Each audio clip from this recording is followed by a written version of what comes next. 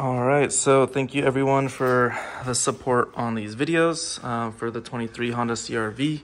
I appreciate all the positive comments. This is not a regular YouTube channel. I don't really make videos. These are just all on my phone.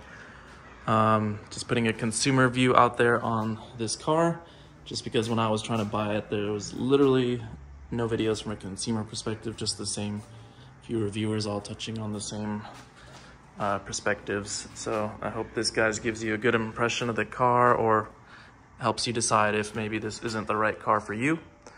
Um, but yeah, leave a comment, like, subscribe, all that stuff. All of that has been motivating me to continue making more of these videos for you guys.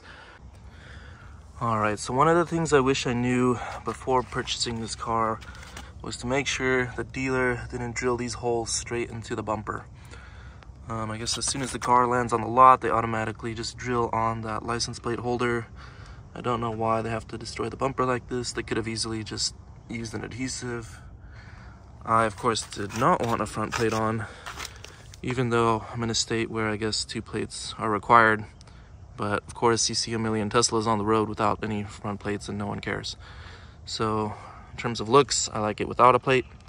Um, but now I have to deal with these holes here so I purchased a little bumper plug kit off Amazon and we're gonna try to fit these and see how that looks.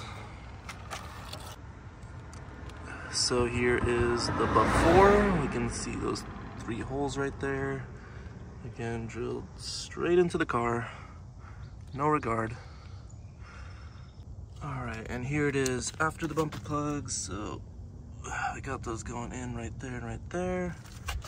And it doesn't look too different from these little rivets we got going on, so I think that looks a lot better than it did a few minutes ago. I don't know, what do you guys think? Should I go to the dealer and argue to have the whole bumper replaced or just leave those there in case I ever do need to put my front plate back on? And again, this kit here is only like 10 bucks on Amazon. I will leave a kit, I'll leave a link in the description below in case the same thing happened to you guys. All right, second thing I wish I knew was to check every single inch of the car for any scuffs or scratches. These marks that you see right here, I kind of found after a week of having the car. I don't know if like a tech did this as they were removing all the plastic and installing anything into the car. Um, it was not the window tinting guy because it was there before, but as you can see, super annoying. So I went back and they gave me this little touch-up paint canister. So that's all they would kind of do for me. So I'm gonna try to apply that today and see if we can fix these. But again, if you're at the dealer, make sure to check every single inch of your car. I kind of wasn't able to because I was purchasing the car at night. Um, do not purchase a car at night. You can't see anything. Um, but yeah, let's see how that looks in a second. This thing's pretty cool. It's got a little tip to smooth out the scratches. The top part is the paint itself. And then the bottom part twist off for another top coat. So here's the before. And then I'll do an after in just a second. So here it is, right as we're painting it. Color close but not quite. Uh, maybe when it dries up fully it'll change. But of course with any touch up it's gonna be a little blotchy, never quite as smooth as the original, but you know, better than nothing. All right, so another thing, um, wish I knew, but I guess easy to look up. This car does not have a spare tire underneath. Um, under here is just the battery, one kilowatt battery pack. There is no spare tire like the normal version of this car. The hybrid does not have the battery. We do have this fix-a-flat kit in here. Let's see if we can get this out of the way. All right, so we have fix-a-flat kit. Um, could not tell you how to use that. I should look into it. Let's see what we got here. All right, looks like you can fix your tires and they'll be good for, I guess, up to 50 miles per hour after that. It's got a little pump. Um, strapped in. I don't really want to undo that, but anyway, it looks like it's a little pump and who knows what else to fix your tire in case you did get a flat. You also got this little um, gas tank funnel That is if you are trying to add any additives to your car. So, as you know, not an average gas tank. It's got the newer stop block there. So you'll need that little funnel if you want to add any fuel cleaners, seafoam, things like that. All right. All right, so our crossbars got delivered. I purchased these from Sons Honda for about $188. Um, Germain Honda of College Hills had them for about $201 and then my dealer wanted to sell them to me for like over 400 um, all you have to do is type the part number online and you can get a bunch of different dealers and just check the price, check the shipping, whatever works best for your area. But I got these for much, much less than I would have from my dealer. I'm gonna go ahead and install these on the CRV. And all the instructions you need, um, the College Hills Honda, they post the PDF for any single part, no matter how big or small, they got the full PDF of how to install everything. Um, so if you're not sure how to do it for whatever part you got, you can just pull it from their website. It's the same instruction sheet that the dealerships get for their techs to put these on your cars. So I'm gonna go ahead put those on slowly and we'll take little progress videos along the way. And just a heads up for tools, you will need a little torque wrench. Let's see if you can see that there. Just a little hex tip. These ones right there um, to install these guys. All right, to start the installation, we basically remove these little screw cap covers. They're just plastic covers that go into here. And then we put our little fitting on as such. This is for the left side. And that's gonna go right over there. And then we're gonna put the actual Torx uh, metal bolts into here. Um, do that for all four sides and then the roof rails will sit on top. All right, excuse the dirt, we'll get this thing washed, but we have this side on, and then we have that side on as well. We will now proceed with the bar placement and the Torx screw installation. All right, next you're gonna see that there is a longer crossbar and a shorter crossbar.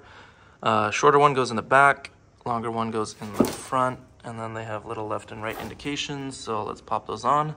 Then we just have to use these little Torx screws and place those into little holes where we remove the cover and you're done. It's pretty, pretty simple installation.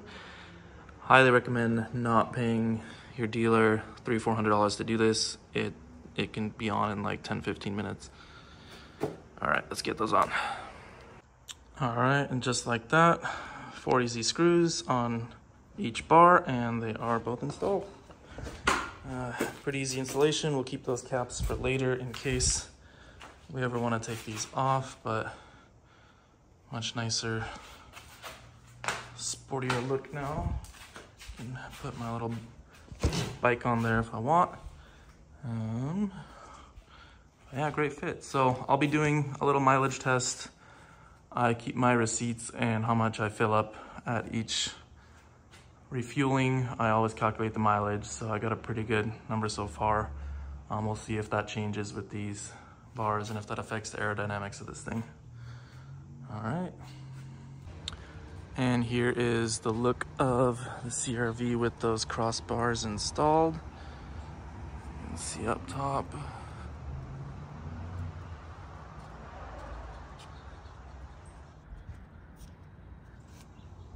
let's see from the back. But yeah, pretty quick installation. Anybody could do it. If you can build IKEA furniture, it's way easier to put these on. And do not pay your dealer if you do want crossbars. Again, I bought those for $188. I believe it was like $30 to ship. And it took about 10, 15 minutes to install.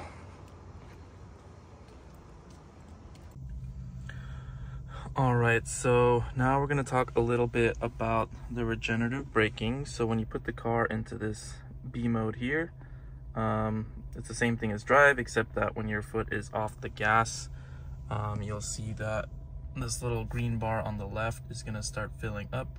Basically, the, the faster you're going and when you let off your gas, that thing's gonna increase a lot more. Um, it's gonna send that extra power from the brakes to the battery um, which is really nice. And what kind of controls the degree of that is gonna be these little paddle shifters here. So you got the one on the left and then the one on the right. And as you can see here, the little bar changes. So we got one, two, three, and four. When it's on four, it's just you get more braking happening when you let off the gas. Um, and that just means more power to your battery. Let's see if we can see a little bit here, not really.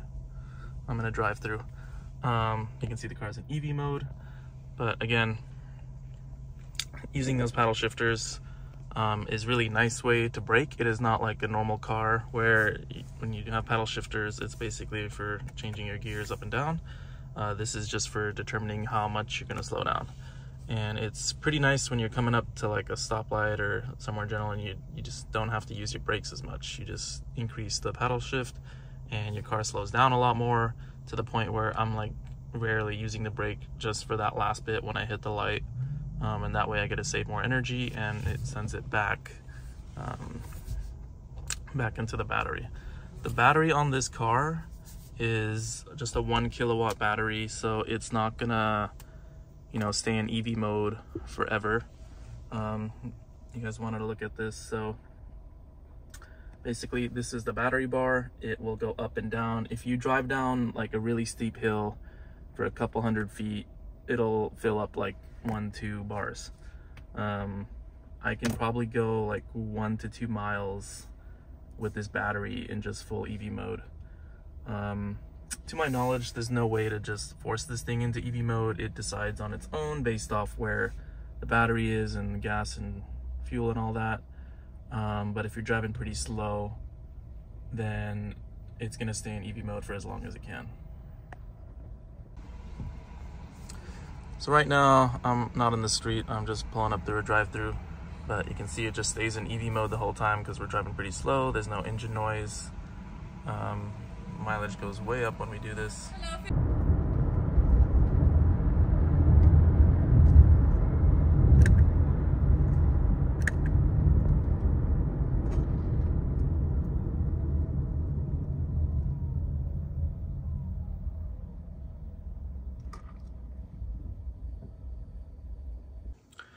All right, so what you just saw there was me in a straightaway um, using those shifters. You saw the little green bar go down. Um, that just means more power going to the battery and I was progressively, it's weird, the minus one actually is the one that's increasing the amount of braking. Um, but you saw that the bar got larger and larger, just more power was headed um, towards that battery. And you know, our current drive is around 32 miles per gallon Still have about that much mile range left. Um, total for the trip right now, let's see, what are we doing? We got 35.8 miles per gallon. We have driven 220 miles, just hit our 2,000 mile mark. Um, another feature about that regenerative braking is it does not allow, you can't be in cruise control mode when you have um, it set to B. You have to set it to D to use your accelerated cruise control. That does not mean you don't get regenerative braking. Um, I think you just have to shift it to D so the car's computer can handle everything um, on its own. Um, but basically, the once you turn this on, you know, it's it's using that radar to gauge the cars in front of you, speed up and slow down. It works very, very well. I rarely touch um, the gas or brake when I am driving on the freeway. Almost never. It does the whole thing for you. Um, but you will see that green bar increase and decrease when it does need to speed up and slow down. So you're still getting regenerative braking when you have accelerated cruise control on, even though you're not in regen braking mode. So don't worry about that. Um, that was one concern I had because I didn't want to lose the regenerative braking benefits just because I wanted to use cruise control, but that is not the case. All right, so I did want to show you guys the backup camera. It does have three different views. So you got your normal, you got your fisheye so you can see cars from way out there, which is really nice when you're backing out of like a parking lot. And then you have this top down, which is amazing. This lets me see, you know, I'm in my garage. I can close the door and not hit the back of my car. Um, it's also great for just backing up. Let's see, backing up there. So it just lets you get like as close as you can to whatever you're trying to park against, um, which is super nice. And again, um, car is pretty loud with that sound. Open the door So you can hear how loud that is inside of a garage. Um, not as loud outside, but it is echoing inside of here. So very loud backup noise, which is, I don't mind it. I like the sound. Some of you guys were also curious on how I installed my cameras. So it doesn't take much time at all. It's just straight up pushing the wire into the lining here. There is space under here, so you can just squish it in. I ran it all the way around. It comes down here in the crease again. Not super clean for this one, but you know, into the 12 volt and it's fine, it's out of the way. A little extra wire here. Um, if you're really ambitious, you can install it in through there, have it go through here, maybe through there, here, but I didn't think it was that big of a deal. I just left a little slack and that closes just fine with it. So it just goes down like that.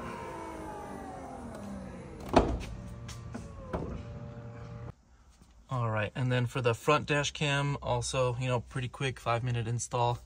Just literally, you push the wire um, between the crease here and you know, there's a little bit of space so it fits in nicely. Goes all the way down, comes around here, drop it on the side, runs under the back, under the mat, up the side here, and just into the 12 volt plug there. turns on and off by itself when you turn on and off the car. Um, pretty simple. And then I do have a camera on the side right here as well. Um, and that same thing, it's that second wire there, runs down here, fits under all of this on the side paneling, goes through the back and then, you know, comes up around there. So pretty easy. Um, this one took a little bit longer just to fish through, push it into the plastic, but uh, pretty easy if you want to get a multiple dash cam setup. You don't need that many. I'm just a little bit extra with my dash cams. They have saved me in accidents before. Um,